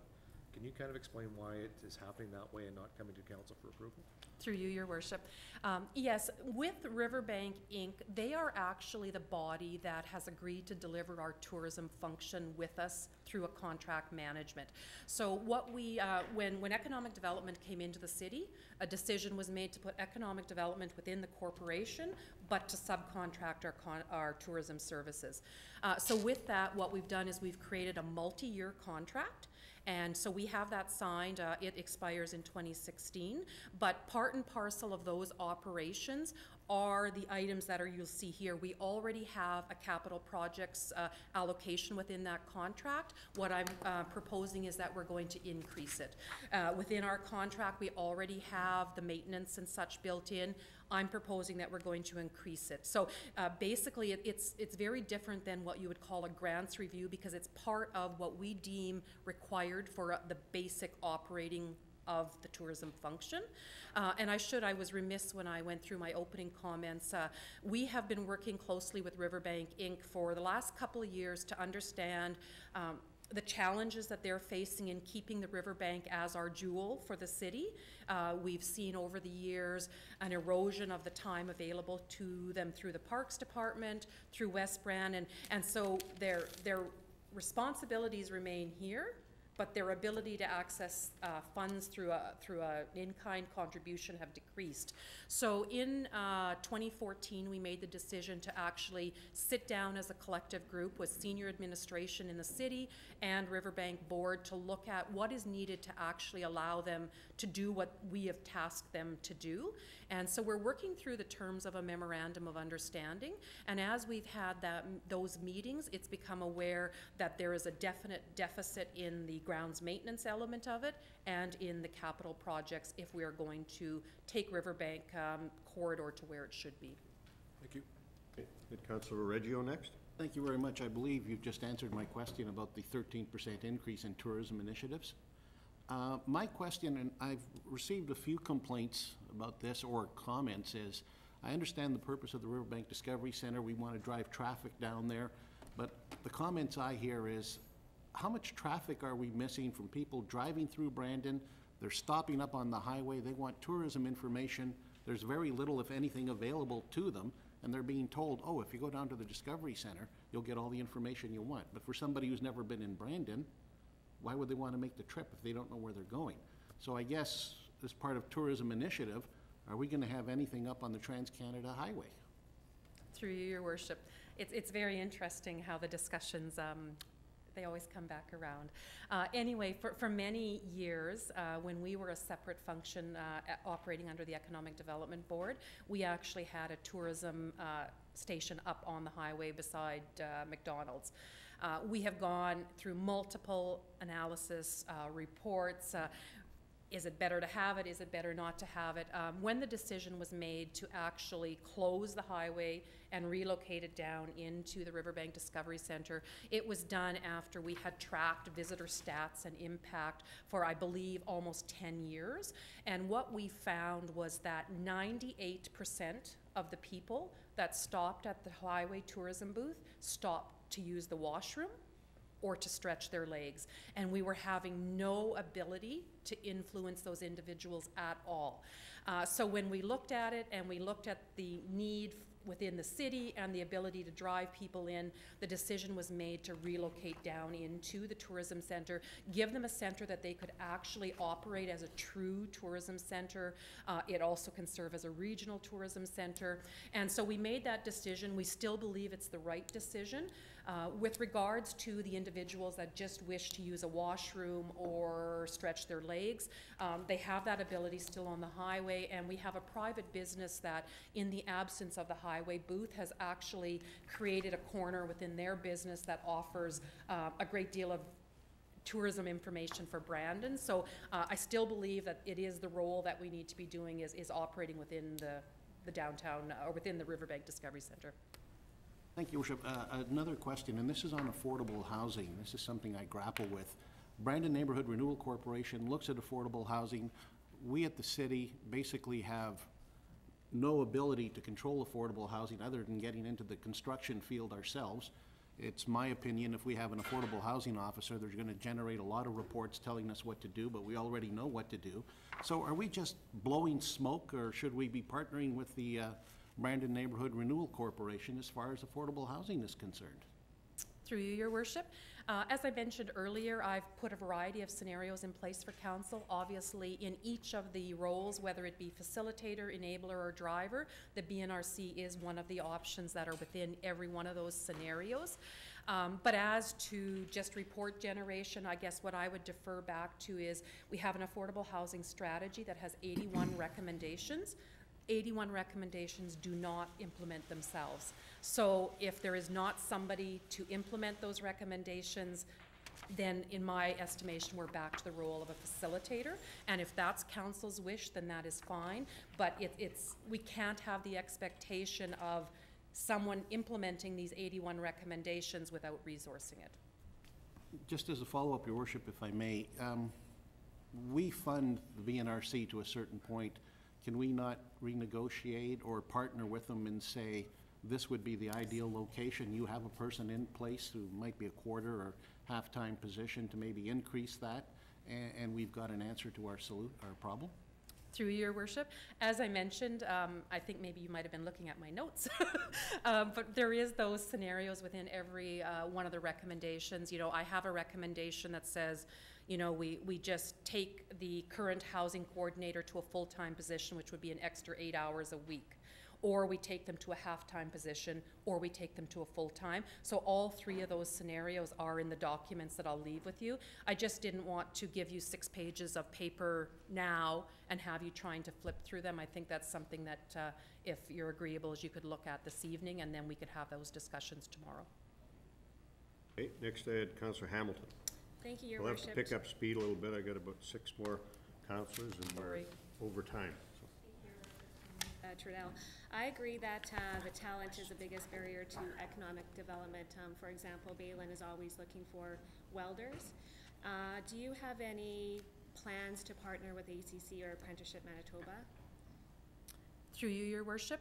Uh, What we're doing is, is, is we're looking at it, um, we go out with industry, we understand what the needs are, then we take those needs to the partners that can actually initiate the change. Uh, So ACC is definitely a partner, and so that is how we do our business, because directly, we have no ability, to- no ability to actually implement the educational changes, but what we do is, is we make sure that we go forward and we drive the need, and we then tie that need to the impacts on the economy, right? So it allows the businesses to have not only the business need projected to those institutions, but also the community and the broader economic growth.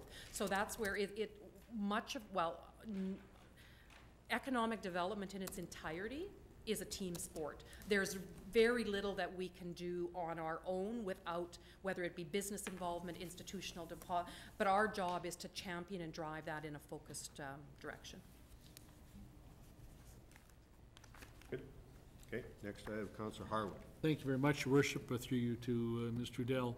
Uh, Sandy, just looking at the Affordable Housing Grants Costing Center and under expenditures, there's a line there with the uh, Youth for Christ, and last year, uh, it was, the grant was eighty thousand, seven hundred and eighteen dollars, and now it's down to eighty-six, eighty-seven. I'm just curious as to, uh, you know, the, noticeable decrease.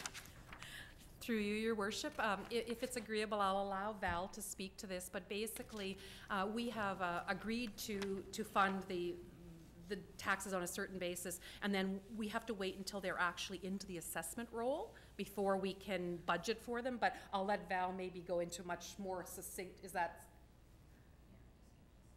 Page I've got them right of, here if you want them. page thirty of the But ultimately, operating budget, if that helps you, Val? if they haven't made it onto the tax roll, Right. then we, ha- we talk to property assessment and we figure out when do you expect to have that done and on. Uh, in a perfect world, I'd love to be able to say to you that buildings are completed, they're assessed and they're not, but we have some projects that are a year and a half before they actually make it onto the tax roll. Okay. Well, mind you, but this one's ramping down and not up, so that. Yeah. But, but don't be fooled by that because oh. one. Oh, into the grant, sorry, I thought they were doing the actual grant, No, no, the tax side of it. no, it was the. Okay, my apologies, I was Yeah. speaking to the, the actual tax piece of it. Yes, we actually provided capital funding in Okay. order to get the actual Youth for Christ project done. So as I mentioned when we started, the Affordable Housing Reserve has the money for housing projects. Youth for Christ made application, we approved it, we paid it out. Perfect. Sorry, I was just speaking to the actual grants. Yep, no, that's Thank you. good, thank you. Councillor Desjarlais next.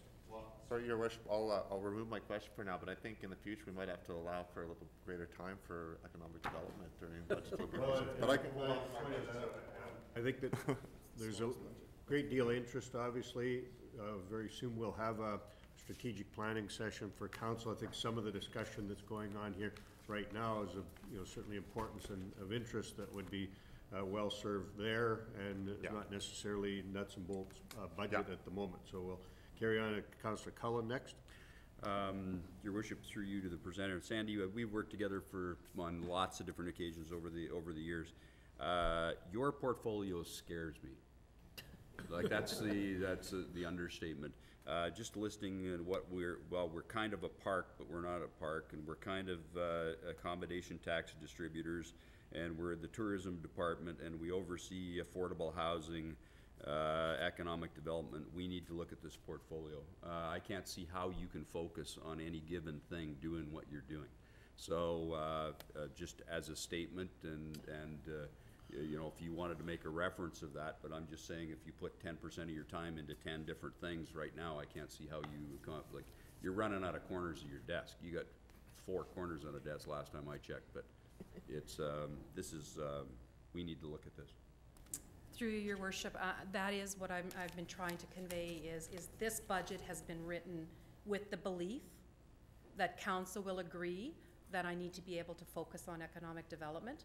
Thus, it means that uh, a solution has to be found for urban renewal, Renaissance Brandon, and affordable housing. The tourism side of it um, is, is easily managed, and it links into our economic driver of event tourism. Uh, So that's doable, as does the accommodation tax, provided it stays as an economic uh, driver tool. That was a good question and a good answer.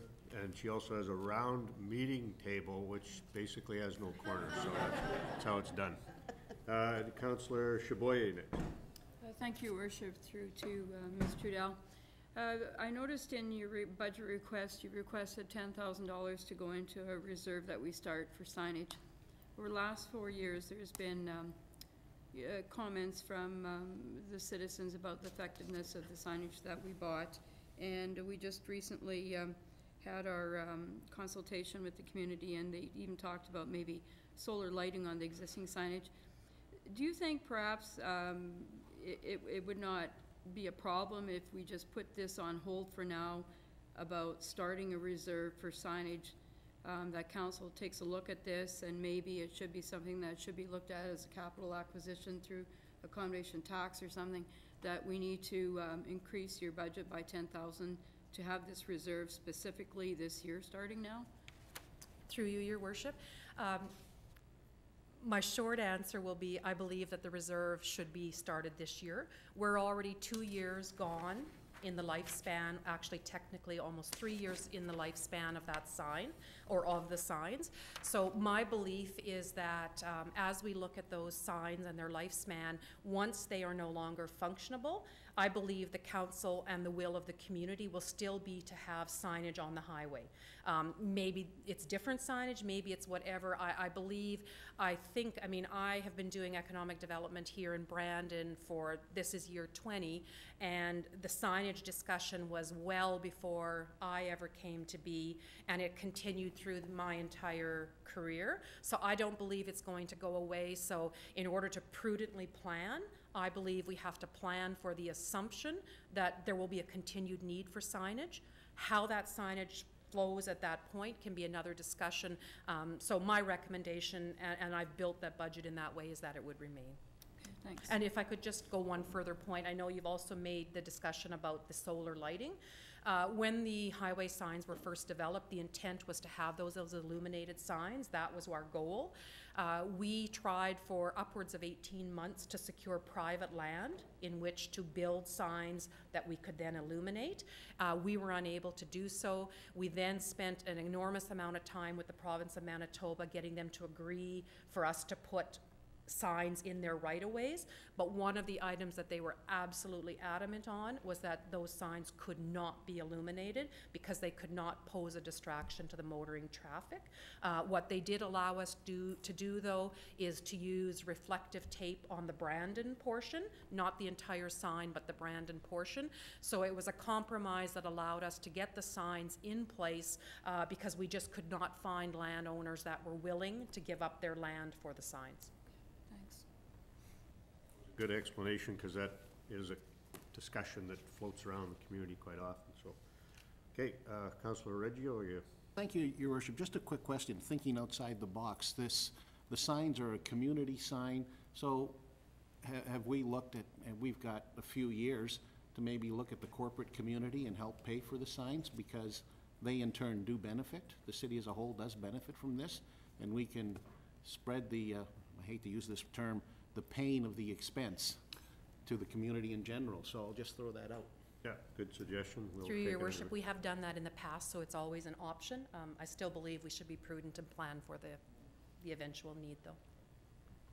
Very good. Thank you very much for a very If I- thorough presentation. We've now used all of the clerk's time up, so, uh, I'm just going to the, the documents I referred to affordable housing, there's two different ones, so if you could each take one and then just pass them around the table. thank you. Thank you. We will hustle along to the, our city clerk, Heather Ewasiuk, uh, and then you'll be allowed a well-deserved break. I'm sorry? Uh, Can I make a recommendation?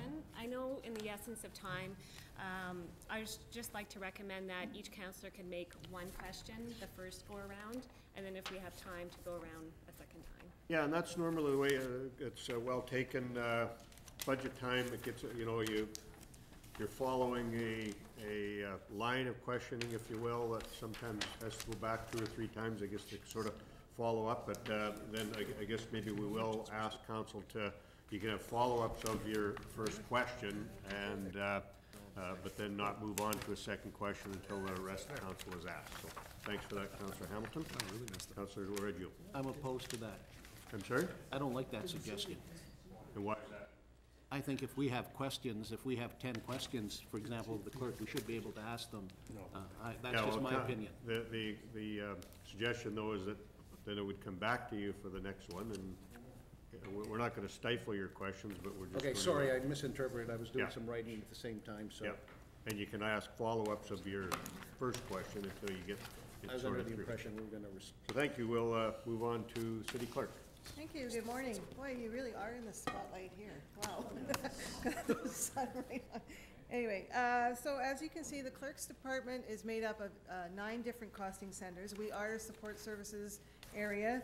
Uh, So we have the clerk's operations, council expenses, election costs, the grants review committee uh, funding is funneled through our department, Heritage Administration, Intergovernment Relations, which is uh, our membership in FCM and AMM, uh, the Chamber of Commerce, et cetera. Uh, A new one this year is the Legislative and Legal Services, Property Assessment, which is sounds like it should be with Treasury, but it's actually the levy that we pay to the uh, provincial government for assessment services, and of course, uh, records services. Um, I- We've had a couple changes since we originally submitted our budget that are good news for council. Uh, When we originally submitted the budget, we had planned to reduce the heritage coordinator position to a twenty-hour-a-week position, which had resulted in some cost savings.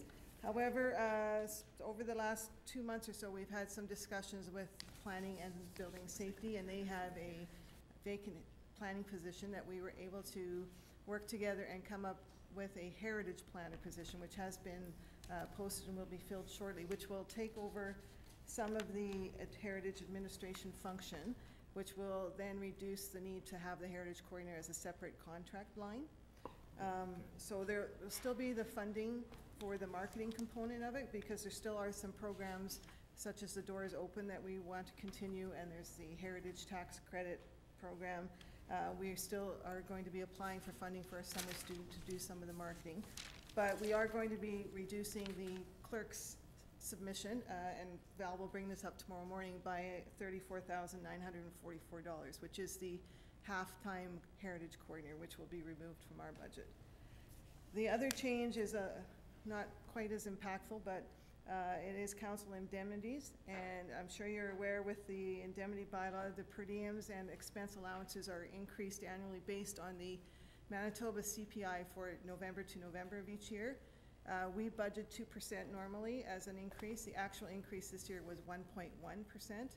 So we're looking at uh, further savings of two thousand two hundred and seventy-two dollars. So instead of a one point one percent increase over two thousand and fourteen, we're actually looking at a 0.48 decrease. So, the, one of the main drivers to our budget changes, obviously, we've done a restructuring of the clerk's department. Uh, with the retirement of the former city clerk, we realigned some of the duties and we've actually eliminated the deputy city clerk position, which has created, uh, some savings. The restructuring of the heri- or the removal of the heritage coordinator and the realignment of that with the planning and building safety will also uh, save us some money, as I pointed out. We have some other major expenses that we have unfortunately some little control over. Um, One of them is postage.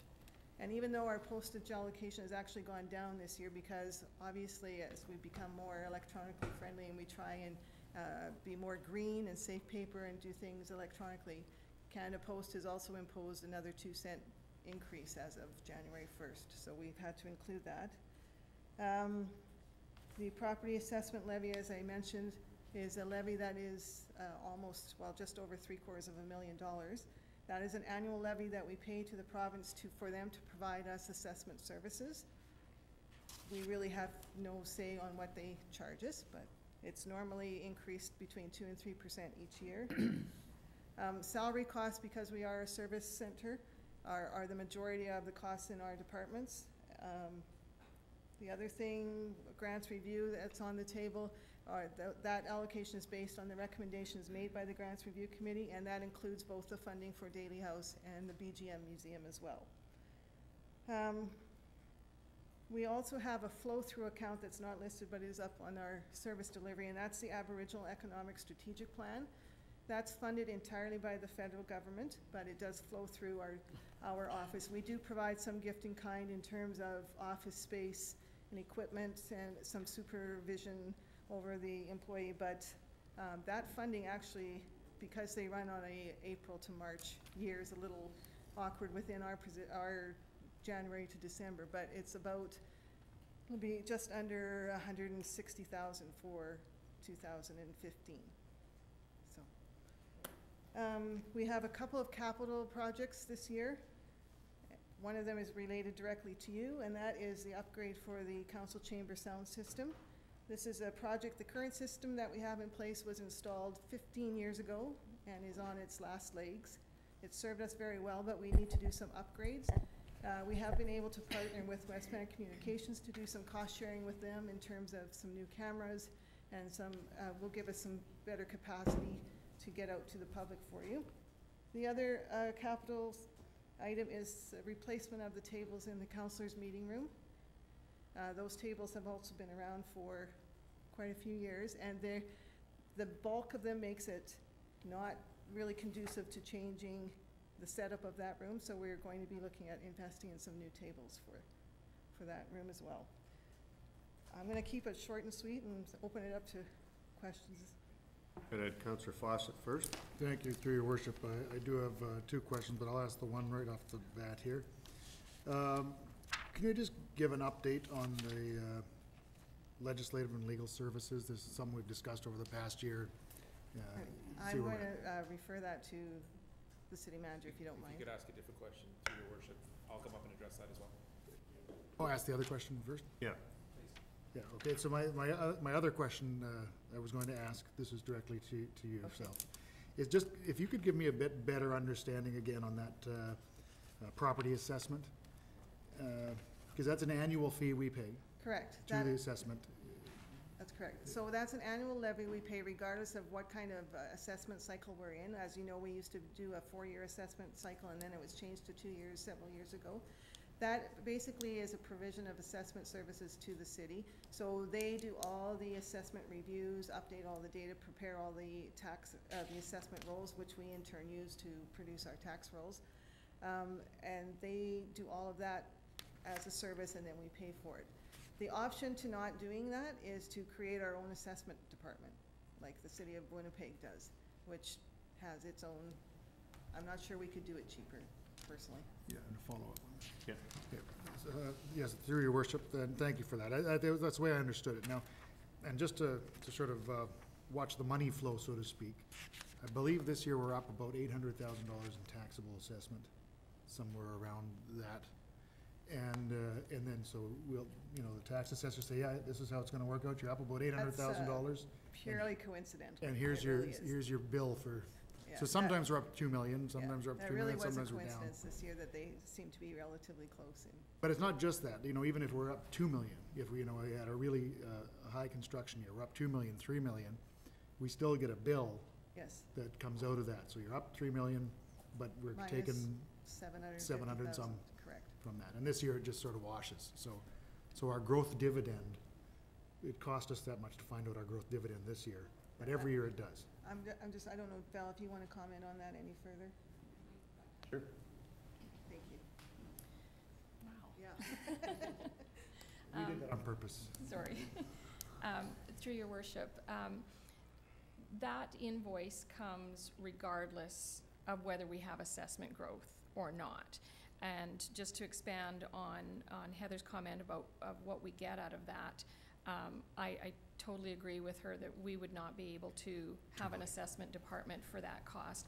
We get a monthly file from, from, asse- um, assessment services that provides us with all the address changes, ownership changes, everything that's gone through land titles, every subdivision that goes through, every new roll number that needs to be created, um, everything to do with assessed values, um, additions to the roll, you know, you build a garage, they add that to your assessment, you demolish a garage, they take that off. Uh, there's a huge amount of data that's going back and forth, or I guess coming to us every month. And then they do the annual roll where the whole thing is updated, right from, they rewrite the entire roll. Um, so they provide us with a huge amount of, of data and uh, regardless of whether, what our assessment growth is, they provide that service to us and uh, it's been roughly around that amount every year.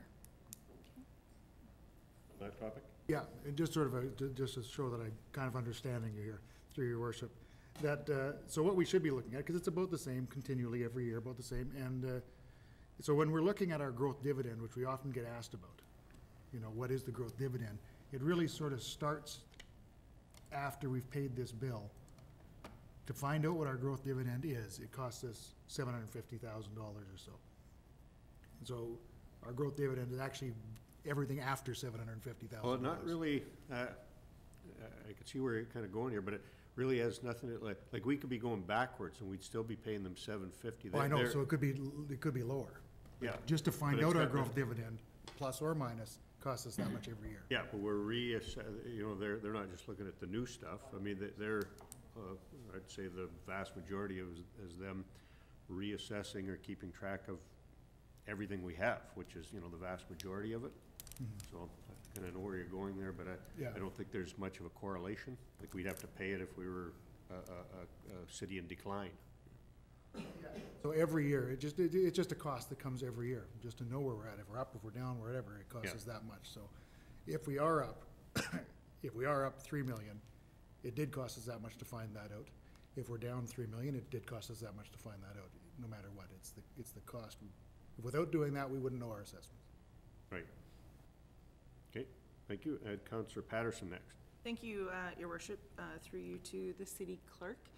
Um, I think as we all know, voter turnout in uh, municipal elections is, uh, is on the decline. Uh, So I'm just curious, uh, i- and the elections line of the budget falls, falls within your department. um, If there are resources available to take a look at this problem uh, now, and, and maybe council could consider some, some ways to try to make this better uh, in the next four years. Certainly, through your worship to Councillor Patterson. Uh, The current existing budget is based on an alloc, the majority of the budget is an allocation to the reserve fund, which funds the general election every four years. There is a requirement under the Municipal School Boards and Council Elections Act that we have to have a revision of the voters list every year. So there's a minor expense in there for advertising for that period. Um, We haven't included anything at this point as far as a resource for looking at voter turnout. It's a, a very interesting question, and it's interesting because back in two thousand and ten, in preparation for that election, AMM, the Association of Manitoba Municipalities, did a, a study on including women at that point in the municipal process and did a lot of background work and prepared a report and that. So it might be something that we want to raise with AMM when we meet with them later on this month, that if that's something that's uh, provincial-wide that they want to look at addressing, or we could certainly look at uh, budgeting for something, some resources in future years. I just don't have anything in there right now. So, Thank you. Does that answer your? Yep. Were there any other, Counselor Reggio? Thank you, Your Worship. Just, just a quick question. I've talked to- right now to some of my other counselors. Other than the fact that they're old and they can't be moved, is there anything wrong with those tables in the council, in the meeting room? Or is it a necessity that we replace them? I, I'm not necessarily, a necess- sorry, through your worship to Councillor Reggio. Um, They are cumbersome and they do not really allow for a a good flow. Um, We're, what we're looking at is more nesting tables that we can have a variety of arrangements for, and so I think it would make that room a lot more useful. The, I believe we're going to look at, and Val, you can help me on this, if uh, those tables are deemed surplus and can't be used within the organization, that they would be put up for public auction or tender. So we will recoup some costs from that pack. Didn't have anybody else, so there is a question regarding the, Counselor Berry? Uh, Actually, I did have a question, Your Worship, but I think it's gonna be addressed here. I was waiting for Mr. Hildebrand to come up. It did revolve around the uh, legal Legal? services in the office, yeah. Yeah, that's So what, I'm just waiting. You know that, eh? Yeah, so we'll ask, uh, Two minutes. Brand to deal with that one, is, Um, Your Worship and Council, just to address Councillor Fawcett's question about the Legislative and Legal Services Cost Center. Um, that one's my responsibility, although it sits within the clerk's, uh, kind of function. Um, that one is still ongoing. Uh, it's a priority of mine, but I wanna make sure that, uh, it's done right, and, uh, that's why it's, it's continued to be delayed. It's not easy to just, to find a position, uh, that matches that, uh, the fit that I'm looking for. Um, what we have done in the, in the cost center though, is I wanted to make sure that this was clear. My commitment when I presented this to council a few months back is that it would be cost neutral, if not better. And that's how we built the cost center. So we've taken our, our legal costs and, and done that average, put that in there as well as a salary, but that's still with the reduced position of the, um, deputy city clerk. Along with those costs, it's, it is cost neutral, so there's no increase whatsoever, and, uh, I'm still working through that process. Go ahead, Counselor Fawcett. Thank you, through your worship, and, and, uh, and that's good, I, uh, so, for clarity, I, I did understand that. That being said, though, the budget that is proposed obviously isn't for the full calendar year of two thousand fifteen. Uh, it's, it's a, sort of an abridged, uh, budget, with- right? The total. Because we have no, nobody in that position, and we're not sort of expecting to next week. That's right, so your, uh, your worship to Councillor Fawcett, so, but that also includes costs that we would normally spend on municipal legal costs that we're gonna continue to farm out, uh, through our contract. Uh, so it'll all, it's, it's cost neutral, and once we have somebody in there, there could be some savings for the year. Uh, there could be a, an increase for the year, but I will definitely bring that back to council, make sure that it's understood. So it's fair to say it is a full year in the, uh, in the absence of a in-house lawyer, for example, we're farming it out. And if we quit farming it out, we have an We- in-house. We just simply it's- wanted to set it up so it's, we're prepared, yeah. Okay, I had Counselor Berry next on this question, topic. Your Worship. Okay, Yeah. then I had Counselor Chaboy, I think, on this topic. Thank you, your worship, through to the city manager.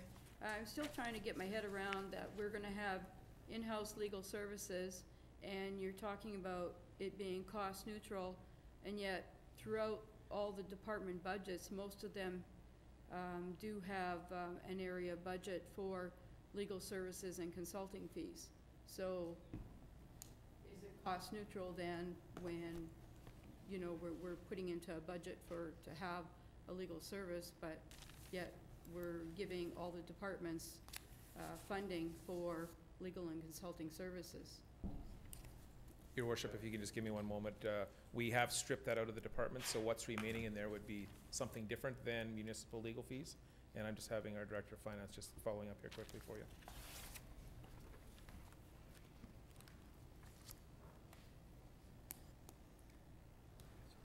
Uh, Through your worship, um, the only departments that have actual legal fees budget is uh, police services, and uh, m- majority, if not all, of their legal fees deal with uh, LERA um, uh, situations, and so those would not be handled in-house. And um, and then everything else, that is the only department that has a, uh, a separate line for legal fees. Every other department that had legal fees budgeted was removed from their cost centers and moved into this new cost center. So, um, so it is, you know, cost neutral.